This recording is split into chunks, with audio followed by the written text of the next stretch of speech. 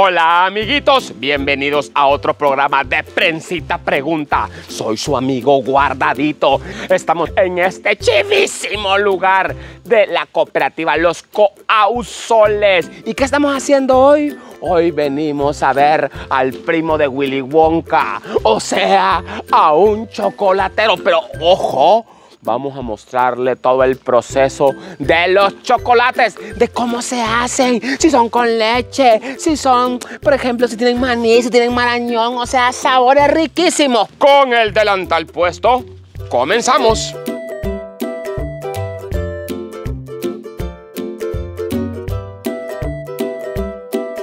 Prensita is in the house, o sea, está en la casa. ¿Y por qué?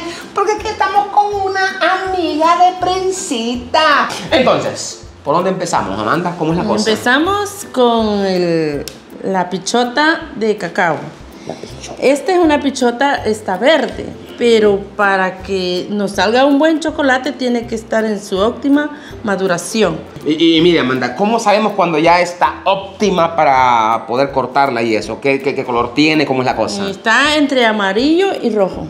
Eh, bueno, eh, luego este, abren la pichota, le sacan la semilla, Ah. Lo, le dan el secado, lleva como entre 7 a 15 días más o menos. Entonces nos decía, ya, ustedes se lo traen aquí ya. todo. Me lo traen así. Luego así lo introduzco a la máquina donde lo tuesto, que lleva entre 15 o 16 minutos. Cuando el- ya me está dando el punto de tostado, las semillas se revientan. Se Esa es como la señal, Amanda. Es la señal. Comienzan a como a descascararse. Ajá, y se, in- se infla. Ah, muy bien, se muy bien. infla. Ajá, ajá. Entonces vengo yo, estoy pendiente a ver cuando ya me dio los cracks, cuando da, va reventando. Luego, este, después de tostado, Sí. lo meto al molino de mano, como los que usábamos antes, O sea, esto cuando es no había molino. Súper artesanal. Sí. O sea que usted... así Lo meto al molino, donde el molino solo, digamos, me lo machaca, le vamos a decir. Y, y me sale así, con cáscara. Pero acá ya está el nib. Cuando ya está limpio le llamamos nib. Ni- Ajá, porque aquí ya, ya le retiramos la cáscara. Pero, pero, pero, vaya, vaya, o sea, nos quedamos en que el molino este manual lo parte como en parte grande. Ajá, en parte. ¿Y cómo llega a ser así de, de nib? De, de- Después que, me, que lo, lo saco así, en soles le voy a decir, de- Ajá, ajá, ajá. este, le, con el ventilador le retiro toda la cáscara. Ahí lo limpio. Y ya me queda así. Amiguitas y amiguitos, o sea que este proceso, desde la siembra, la maduración, el corte, la extracción de la semilla, el tostado, el quebrado, el nib, es un proceso largo y hay que tener como mucho amor para esto, Amanda. Hay que tener amor y para que vean que si vale la pena dar un dólar por un dulce porque es un gran proceso. Por su polvo. Delicado. Luego después lo metemos al molino donde ya sacamos la pasta. O sea, ya el nib ya se mete al molino. Al molino, donde sacamos la pasta normal, como una masa normal, digamos. Ajá, ajá. Eh, ahí lo paso de dos a tres veces hasta que me sale líquido. Porque tengo que esperar que me saque líquido. Porque después lo meto a la conchadora. ¿A la qué? Conchadora A la conchadora. es la máquina de refinar, donde le damos ya el toque para dulce. Muy bien. Y seguimos con nuestra amiga Amanda, pero también tenemos dos amigas, la niña Concha y la niña Dora. ¿Cómo es que dijo que se llama esto, Amanda? Conchadora. Ah, ya ven, la conchadora. Ah, Amanda, cuéntenos, ¿qué, qué, qué pasa aquí en la buena conchadora? ¿Qué hace? ¿Cuál es el, el punto del proceso que, que está? En la conchadora es donde le damos el toque para dulce. Para ya dulce. refinado, cremosito. Y aquí ya lleva la mezcla de lo que le echamos al, al cacao. Muy bien. Amiguitos, vengan. Antes, miren. ¡Qué delicia! Aquí la cosa no para y aquí la amiga conchadora tampoco ha parado. Porque ya en esta mezcla, ¿cuánto Amanda pasa? Usted dice conchando. 40 horas tiene. 40 horas de estar mueve, que bate, que bate, el chocolate. Así es. Espectacular. Entonces, mire, Amanda, después de esto, ¿qué pasa? ¿Qué sigue? ¿Cuál es la cosa? Después de acá, lo vamos a temperar. Esto ya lo limpiamos con alcohol. Ajá, ajá. Luego, vaciamos una parte en la piedra.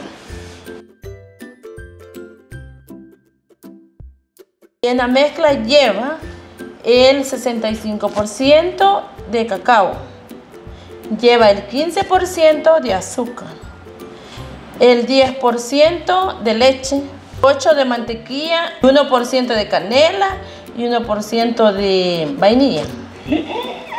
Pues esto lo movemos hasta que dura, hasta que está bien duro.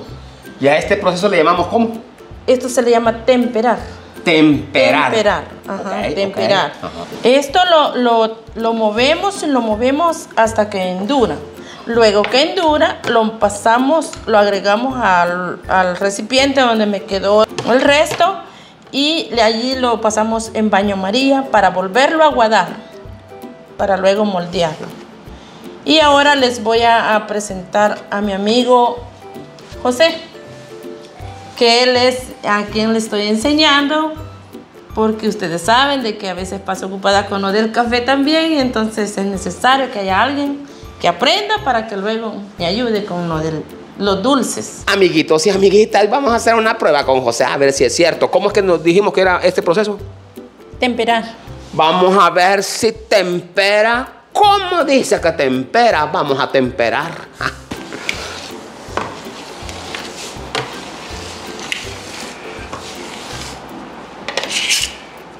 Aquí estamos con el buen José. Trabaja que trabaja. Porque está temporizando, pues sí, el chocolate. La mezcla del chocolillo. Entonces, mire, Amanda, esto como, como ¿cuánto tiempo tiene que llevar de proceso? Esto que está haciendo ahorita el buen José.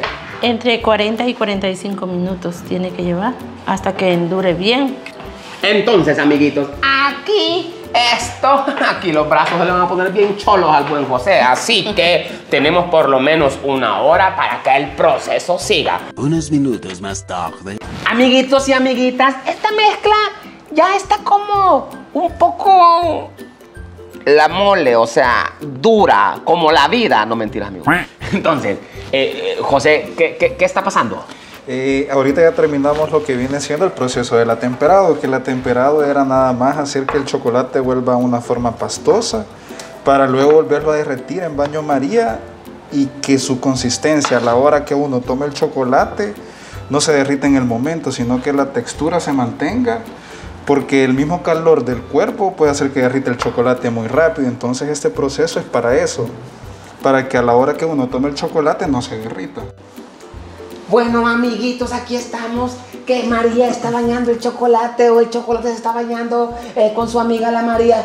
Eh, ¿Qué, qué estamos haciendo aquí, José? Discúlpeme. Eh, ahorita ya estamos en uno de los pasos finales, que ya es el derretimiento del chocolate después del atemperado. Es el baño de María, es agua caliente. Es un calentamiento indirecto para que el chocolate no se queme. Entonces lo único que se hace es transmitir calor eh, por medio del, del depósito. Ajá, ajá. Ya después de esto sigue lo que es el enmoldado y por último fuera el, el empaque, ¿Y después? el comer. Ahorita vamos a moldear. Venimos y, y lo llenamos. Luego lo vaciamos porque es- este va a llevar un relleno. Ok. ¿Y, y de qué será el relleno, Amanda?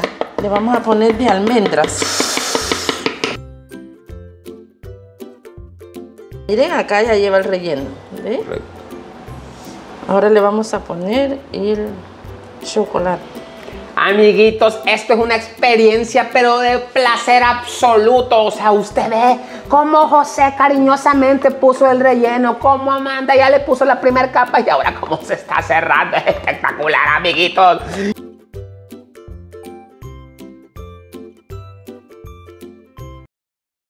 Aquí lo golpeamos para que el, el relleno quede exactamente este, cubierto del chocolate.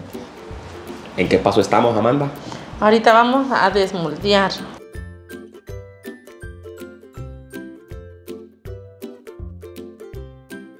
Ahora vamos en la envuelta. Ya casi, amiguitos, ya casi, ya casi nos comemos estas sabrosuras. Aquí estamos echando la colcha chapina. Después que lo, de envolver lo que nos queda es degustar un dulce, y nos dan el ok. Amiguitos, esto es difícil. Esto es una prueba dura, pero alguien tiene que hacerlo. Entonces, yo, su amigo guardadito en representación de todos ustedes, voy a degustar este chocolate que con mis propios ojos he visto cómo lo hace José y Amanda. Vamos a hacerlo.